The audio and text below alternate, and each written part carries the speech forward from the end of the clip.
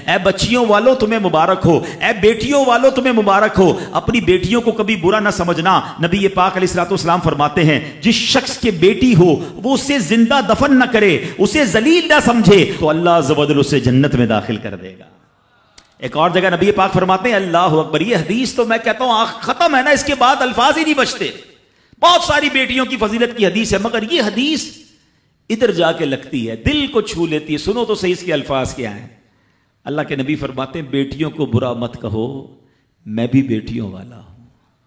हाय हाय, खत्म हो गई ना बात। है, अल्लाह के नबी ने सल्लल्लाहु अलैहि वसल्लम ने अपनी नस्बत बेटियों की तरफ़ फरमाया, मैं भी बेटियों वाला हूँ। बेशक बेटियाँ तो बहुत मोहब्बत करने वालियाँ गम गुसार और बहुत ज़्यादा मेहरबान होती हैं। सुनो बेटियों वालों और बहनों वालों, अल्लाह के हबीब क्या फरमाते हैं? सल्लल्लाहु अलैहि वसल्लम, मेरे नबी का फरमान है कि जिसकी तीन बेटियाँ या बहनों की इस तरह परवरिश करे, उनको अदब सिखाए, उनसे मेहरबानी का बर्ताव करे, यहाँ तक कि अल्लाह उसे बेनियाज कर दे, यानी उनका निकाह हो जाए तो अल्लाह ताला उसके लिए जन्नत वाजिब फरमा देता है।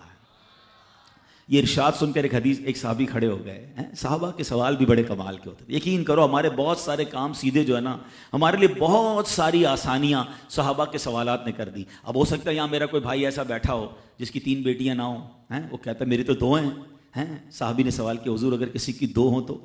अल्लाह और दो दो लड़कियों की परवरिश करे तो इरशाद फरमाया, उसके लिए भी यही अजर सवाब है। रावी फरमाते यहाँ तक के अगर एक बेटी का भी लोग ज़िक्र करते तो नबी पाक उसके बारे में यही फरमाते। मगर एक रिवायत और भी मौजूद है कि एक साहबी ने खड़े होकर कहा, हजूर, अगर किसी की एक बेटी हो, अल्लाह के नबी ने फरमाया, एक बेटी हो तो भी तो भी जन्नत वाजिब हो जाती है। बेटियों पर शिकायत, बेटियों पर मुँह चढ़ाते हो, बेटियों पर लड़ाई करते हो। अल्लाह अकबर, ये तो जन्नत में जाने का टिकट है। तो अपनी बेटियों से प्यार करें। और बाप जितने बैठे ना, मुझे पता है, वो मेरी बात की तायद करेंगे। शायद पैदाइश पे मुँह चढ़ाया होगा किसी ने, लेकिन आज भी बाप से ज़्यादा क्लोज बेटी ही होती है। प्यार वो बाप से बेटी ही करती है। घर जाओ तो बेटी बाप का इंतज़ार ज़्यादा करती है। और इस्लाम औरतों के हुकूक की शानदार अंदाज से बयान करता है।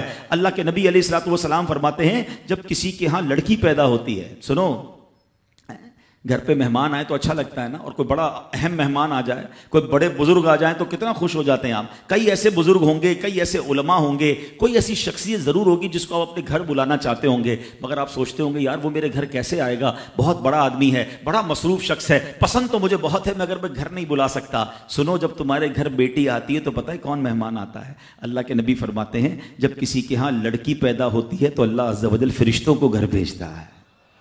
हाँ आपके घर फरिश्ते आते हैं। और क्या कहते हैं? फरिश्ते आकर कहते हैं घर वालों तुम पर सलामती हो। फिर फरिश्ते इस बच्ची को अपने परों के साय में लेते हैं। उसके सर पर हाथ फेरते हुए कहते हैं, ये कमज़ोर सी जान है, जो एक कमज़ोर जान से पैदा हुई है। जो शख्स इस कमज़ोर जान की परवरिश की ज़िम्मेदारी लेगा तो कयामत तक मदद खुदा इसके शामिल हाल रहेगी।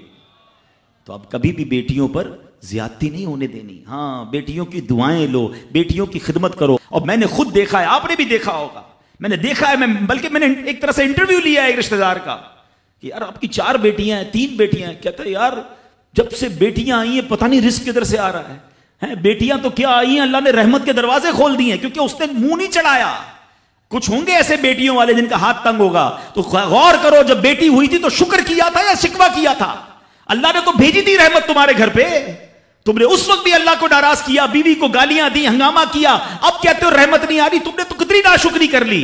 अगर तुम सजदा शुक्र अदा करते, अल्लाह की बारगाह में रिजा राज़ी रहते, अल्लाह बेटियाँ तो देता, मगर तुम पर रहमत के और दरवाजे भी खोल देता। और हमने देखा है लोगों के रिस्क को बढ़ते हुए तो कभी बेटी की पैदाइश पर आपने मुँह नहीं चढ़ाना है। हाँ ना अपनी जौजा को ताने देने हैं, और बेटियों का ख्याल रखें, बहनों का ख्याल रखें